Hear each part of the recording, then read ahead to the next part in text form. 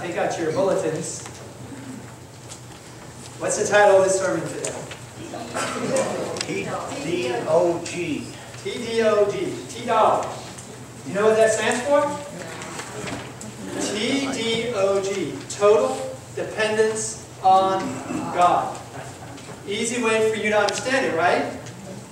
But it is how we, especially as Christians, should live. Total dependence on God.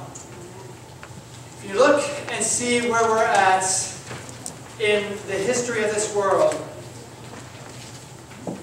we need to have total dependence on God. Either the world is going to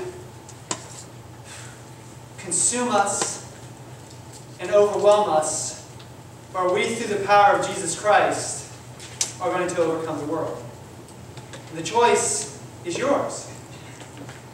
Jesus said, Do not be afraid, because he has overcome the world. Is that right? Amen. Now, did he overcome the world just for himself? Or did he do it as an example for us? So, in Christ, do you have any power at all? In Christ, is there power to overcome? Is there power to overcome the world? The question is, is what is the world? Right? The world is anything and everything that's not in and of Christ. Right? So Christ has given you power to overcome everything and anything that's not of Him. I want you to think about that. Because the next thing you have to ask yourself is, is that a true statement or is it false? And if it's a true statement, then the next question is, is are you having victory in your life? So, T D O G, total dependence on God. Let me ask you a question. Did Jesus overcome the world through his own power? Or did he have to depend on somebody? His father. Who did Jesus depend on? Okay? So if Jesus had to depend on his Father to overcome, then why do we go through this life thinking we're going to do it on our own? Alright, what I want you to do is if you brought a pen and some paper, I want you to write these scriptures down.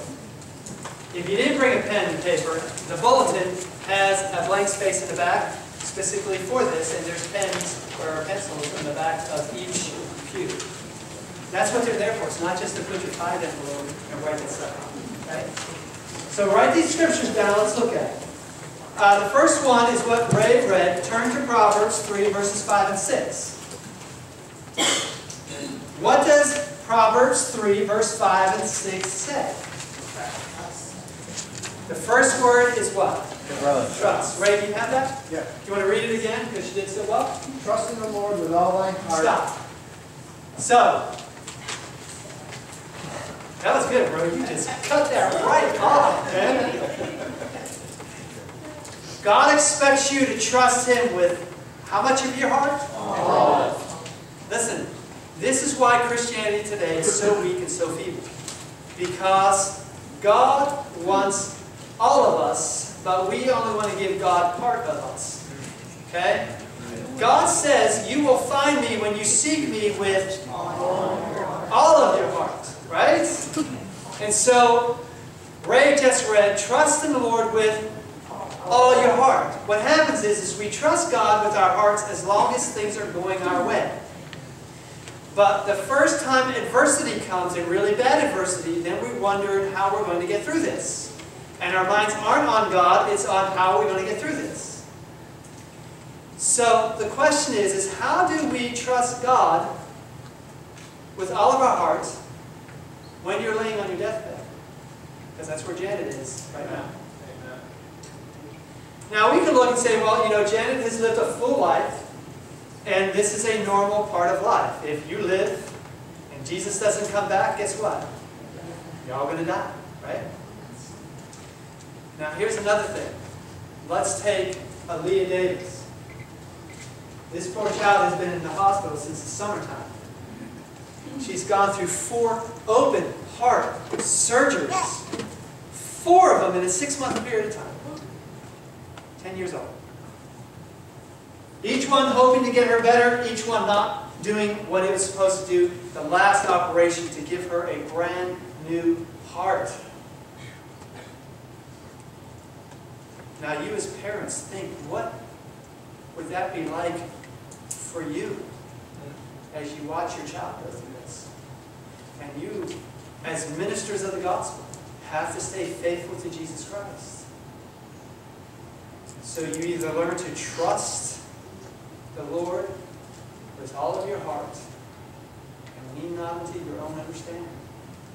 In all your ways, what? Acknowledge Him. And what does He promise to do? He will direct your path. Why does God allow a 10-year-old to go through so much suffering? Why does God allow a parent of that 10-year-old to experience so much wrenching heartache? Ooh, you guys got quiet.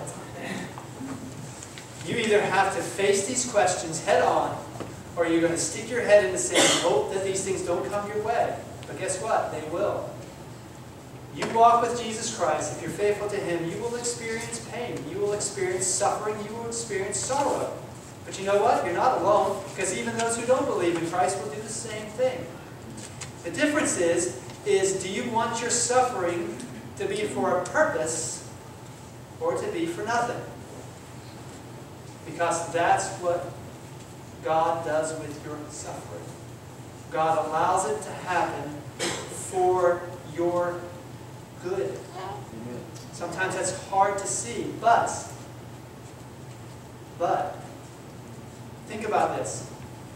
Those of you who are parents, those of you who've raised your child, or those of you who are in the midst of raising your children, if you gave your child everything that child asked for, whenever it asks for it, would you be a good parent? No. Would you be doing what's really in that child's best interest? No. Why? Because see, this is what I see parenting has gone to today. Is that they give their children whatever they want, whenever they want, and now you have a whole generation of bratty kids. What's the difference between God dealing with us as His children? Now you can be 90 some years old. Are you still a child to God? Yes. So God is merciful, and God is just, and God is right by not giving us everything we ask for. If in our sinful condition God made our lives a smooth road, a bed of roses, with no pain, we would want to stay sinners for the rest of our lives. Right? Yes. Because we wouldn't want anything else. So God allows pain, disease, suffering to come to show us that this wasn't His plan to begin with. That there's so much more that He has in store for us if we have total dependence on Him. You had your hand up? I, I always think of 1 Corinthians 10:13. What does that say? When you asked, uh, why does God give so, uh, some people so much to deal with? It says, there hath no temptation taken you, but such as is common to man. But God is faithful, who will not suffer you to be tempted above that you are able, but will with the temptation also make a way to escape that you may be able to bear it. Amen. I guess the closer you are to God, the more you are tested. Yes. Listen, didn't Jesus promise that? Didn't he actually promise that? He promised you that if you're going to be faithful to him, you will suffer persecution and temptations and trials. Here's the question. If you're not having any type of problems, and you're not suffering any type of persecution or trials, you might want to check to see just what your relationship with Jesus is. Ellen White wrote that the reason why the churches are so weak, and the amazing thing, now this is me, the amazing thing about the history of the church in this country is that we have not suffered persecution, right? That our forefathers came from a land to escape persecution. But the reason why the church is so feeble today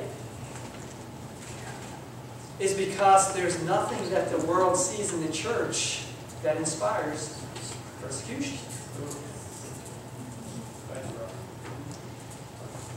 Now I think about that, and I think about that, and I realize she's talking to me.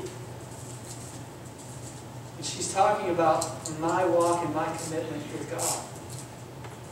That the world doesn't see anything in me to have persecution rise up. See, they like my gospel because it fits in with their lifestyle. I don't want that anymore. I want the pure gospel of Jesus Christ. A gospel that's able to change the world. A gospel that is able to be bigger than any political party, to be bigger than racial issues, to be bigger than culture. A gospel that brings healing and peace and genuineness to the people that follow him. Is that what you want? Amen. All right, so the next text we're going to look at is John chapter 5, verse 19. I asked you a question that is, did Jesus have to depend on an outside source for his strength and for his victory to overcome? And let's look at John chapter 5, verse 19.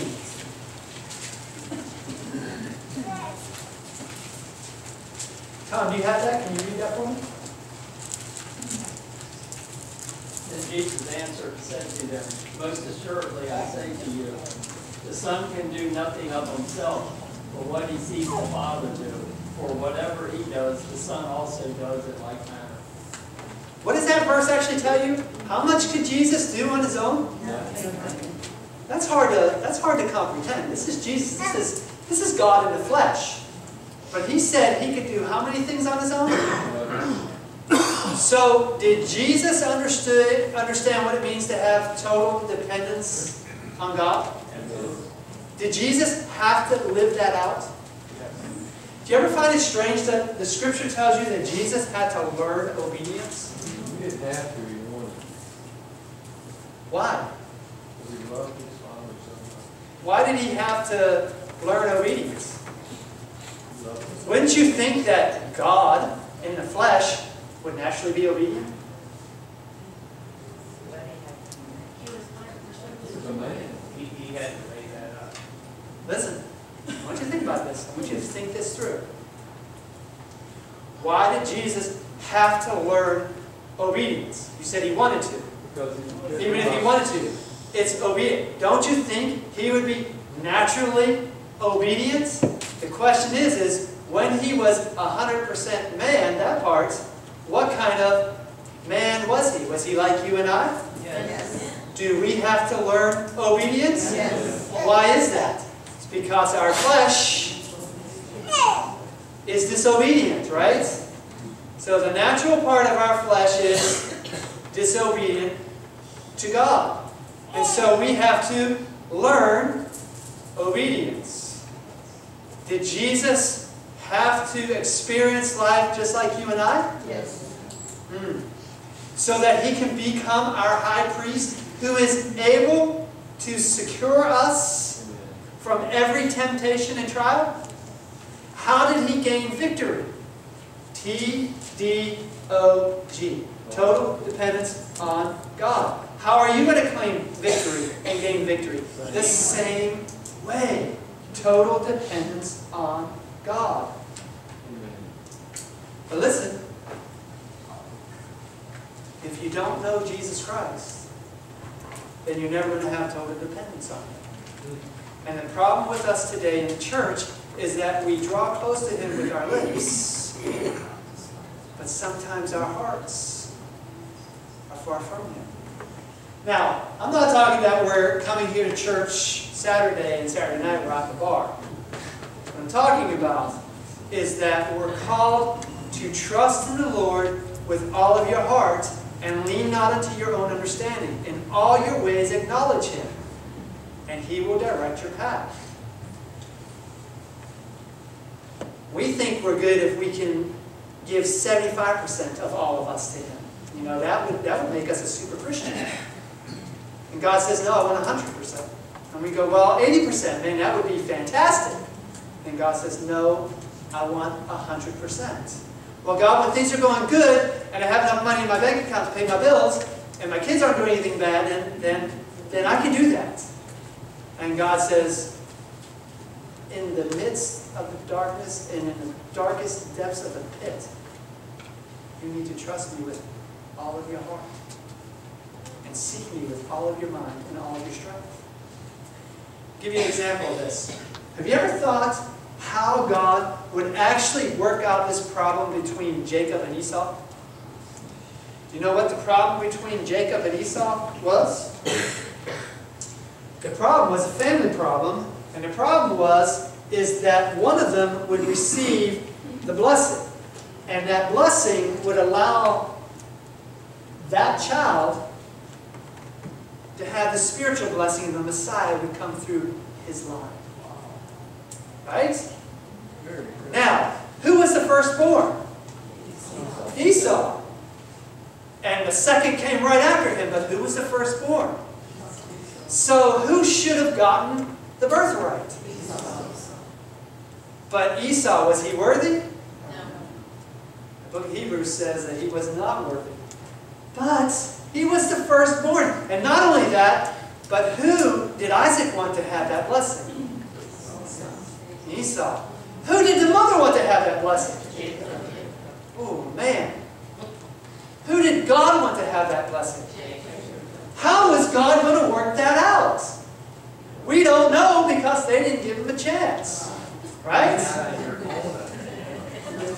So what happened? They got to the point where Isaac is at the end of his life and he needs to give this blessing.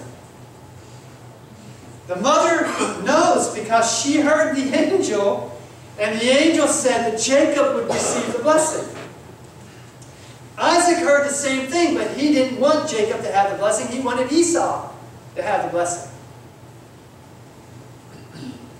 And if they, as told in Patriarchs and Prophets, if they would have waited, God would have worked it out the way God wanted.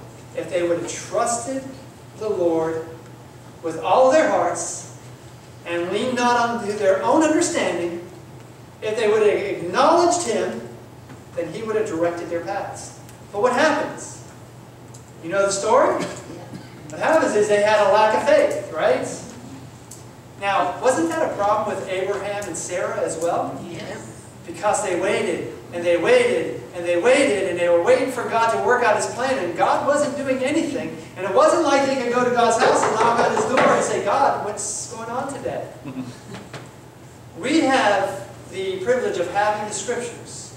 And we read those Scriptures, and it seems like God talked to Abraham on a regular basis, like, you know, every month, every week, to find out that God talked to him, made him a promise, and then you'd have 25 years, two and a half decades would go by, and God wouldn't say nothing, and God apparently wasn't doing nothing. Right? So apparently, right? Brothers and sisters, this is the hardest thing for us in our limited capacity and in this sinful flesh to trust in God when we don't see Him working or when we don't see Him doing what we think should be done. Over and over and over again in Scripture, the Bible tells us to do what on the Lord? Wait. Now you see, in the 21st century, for me, waiting on the Lord, if I can give Him 10 minutes, I got things I got to do, people I got to annoy.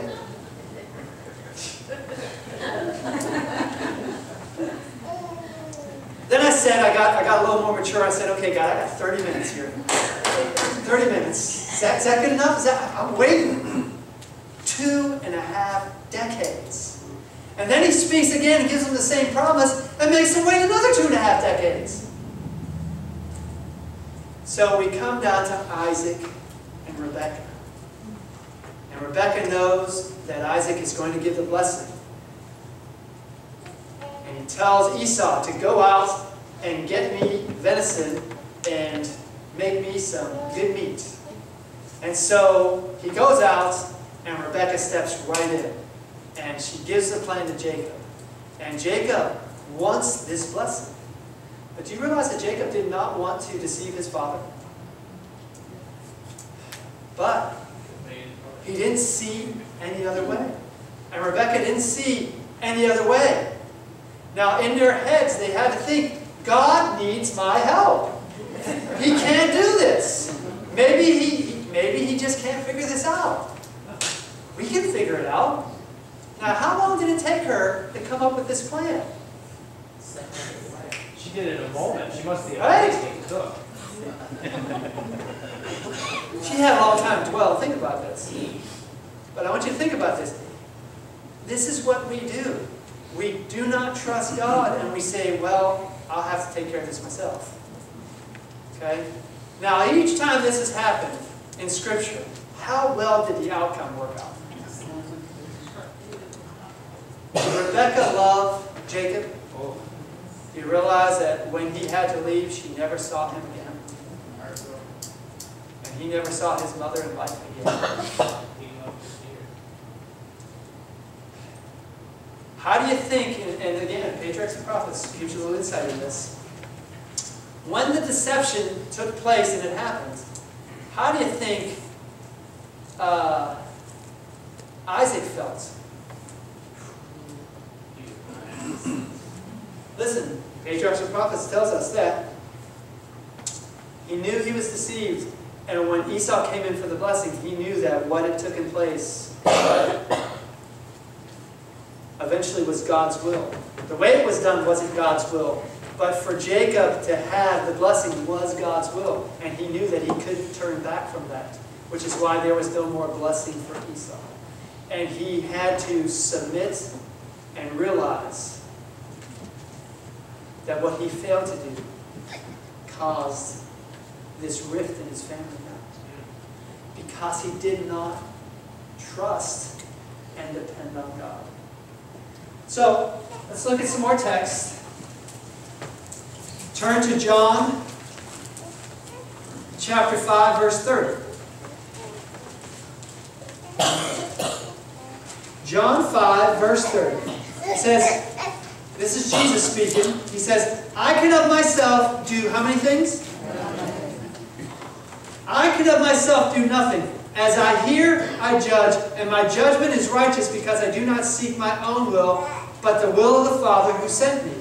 So, Jesus healed the sick, cast out demons, raised the dead.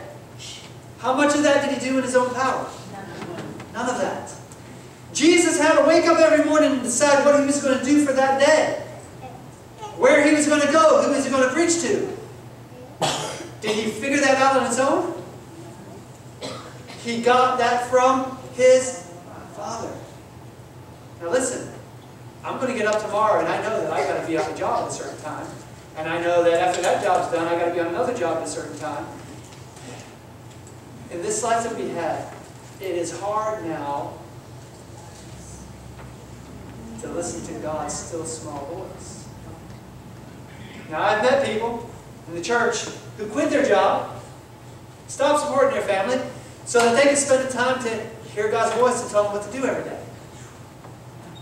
Is that God's will? No. So you see, you got to have a balance here, right? And that balance has to be balanced on a relationship with Jesus Christ.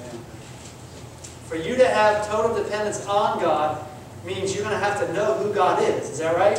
And to know who God is, you have to know who Jesus is. Because Jesus said to Thomas, now, which one of his disciples said, Lord, show us the Father? Is it Thomas?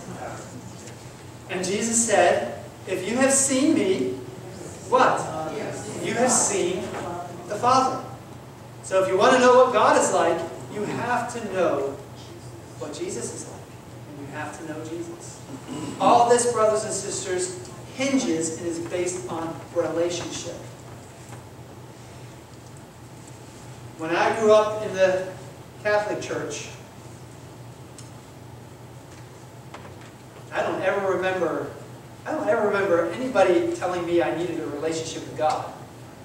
What I was told is that I needed to know the priest, and that I needed to go through the priest to be able to get to God, but there was a bunch of other people in between there to help mediate.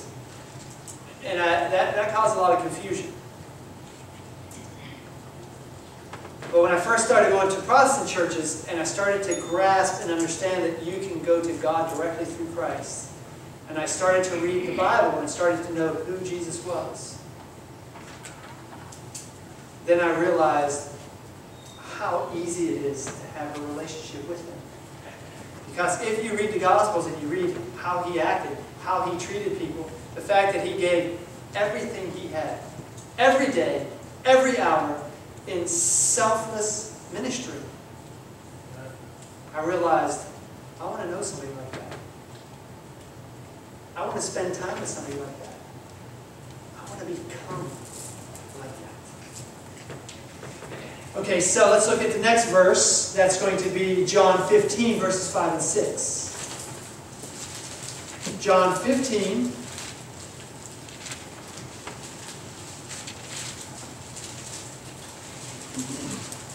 John 15, verses 5 and 6. Jesus says, I am the vine, you are the branches. He who abides in me, and I in him, bears much fruit. For without me, now listen, Jesus said that without his Father, he could do what? And so Jesus here now tells us that without him, we can do what? He who abides in me and I in him bears much fruit. For without me you can do nothing. If anyone does not abide in me, he is cast out as a branch and is, with, is withered. And they then gather them and throw them into the fire, and they are burned. Verse 7 If you abide in me and my words abide in you, you will ask what you desire, and it shall be done for you. So here is how this works Jesus depended fully on his Father, and Jesus overcame the world. We are called to overcome the world if we fully depend on Jesus. If we start to realize that in and of ourselves, we can do nothing. Now, what does that mean, nothing? I, without Jesus' help, unless he takes my breath away, can walk out that door, right? What does he mean you can do nothing? Nothing good. Very good. Nothing good. If you want to live a life in harmony with God, if you want victory over the desires of the flesh, you can do nothing without Jesus Christ. Right? If you want to understand spiritual things, you can do nothing without Jesus Christ. If you want to bear much fruit and be a witness and a worker for God, you can do nothing without Jesus Christ. If you want to have a legacy that will be eternal, you can do nothing without Jesus Christ. Does that make sense? Okay, so the next verse we want to look at is uh, Hebrews chapter 4, verse 16. Hebrews 4, 16. With Jesus Christ, we can do all things. Paul says in Philippians that I can do all things through Christ who strengthens me. And if I'm in Christ, then we have this promise in Hebrews chapter 4, verse 16. What does that say? Let us, therefore, come, what's that next word? Boldly. Let us therefore come boldly. What does that mean? Boldly. Come with confidence, without fear. And where can we come? To His throne. Now let me ask you a question. What do you think the odds are that you're going to be able to go to the White House and get to see President Obama?